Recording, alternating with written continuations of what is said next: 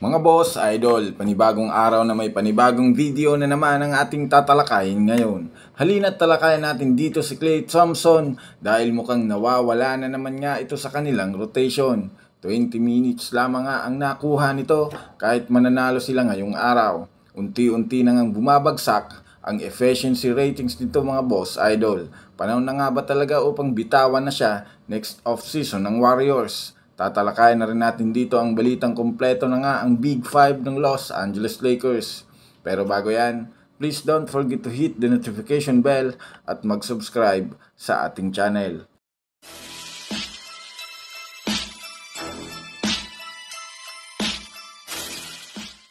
Mga boss, idol, unahin muna natin ngayon dito ang naging laro ng Warriors at Phoenix Suns.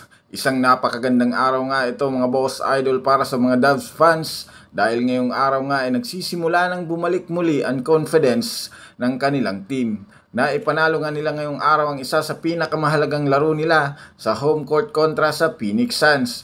Kahit man nga back and forth ang laban sa huling minuto ng laro ay nagawa pa rin naman ngang maipasok ni Stephen Curry ang game-winning shot at lumamang ng isang puntos. Tinulungan rin naman niya siya dito ng ilang mga role player kagaya ni na Brandon Podsimski at si Gary Payton II kasama si Draymond Green para mapatumba nila sa kanilang bahay ang mainit na koponan ng Phoenix Suns.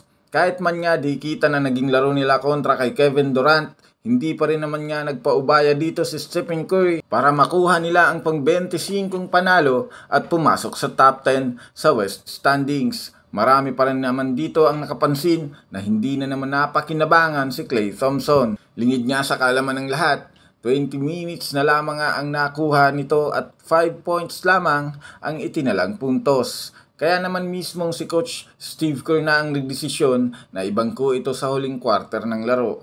Mapapaisip ka na lang mga boss idol ano nga bang nangyayari ngayon kay Clay Thompson. Sa kabilang dako naman tayo mga boss idol tungkol naman sa Los Angeles Lakers. Napag-usapan nga natin kahapon na nasa Los Angeles Lakers na nga si Spencer Dinwiddie at nakita nga natin ito kasama ang general manager ng Lakers na si Rob Pelinka.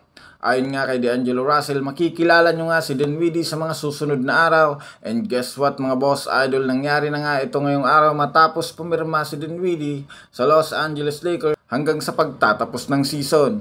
Isang malaking boost nga ito lalo sa kanilang opensa at depensa sa backcourt. Isang guard na pwedeng kapalitan ni D'Angelo Russell kung sakali mang mag-struggle muli ito sa kanyang shooting. Dagdag pa nga dyan mga boss idol dahil nga sa itinatala nitong 12 points per game sa Brooklyn Nets ngayong season ay masasabi nating pang star player rin itong maituturing. Asahan na nga natin na magiging katulong ito ni Roya Chimura upang palakasin ang second unit ng kanilang kupunan. Maituturing na nga natin ngayong may bagong Big 5 ang Lakers sa pagkakakuha nila kay Spencer Dinwiddie.